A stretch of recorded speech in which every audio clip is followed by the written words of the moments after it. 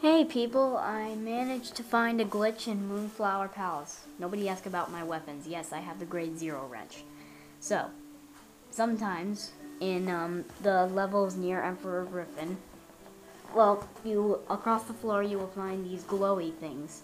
Now, as you can see, you can't see your shadow at all here. But near, but if you walk a little ways,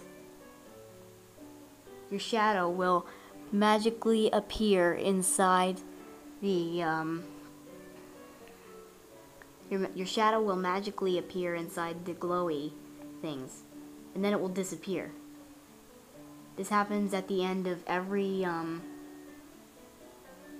of every uh, little plate thing and it also disappears whenever you rotate the control. It's like it's under the the carpet, but inside the, um, but inside the little glass thing. So, um, I'll be trying to find gl glitches in Jurak Mall probably, just to see um, if I can find a glitch in every area. So, um, see you later.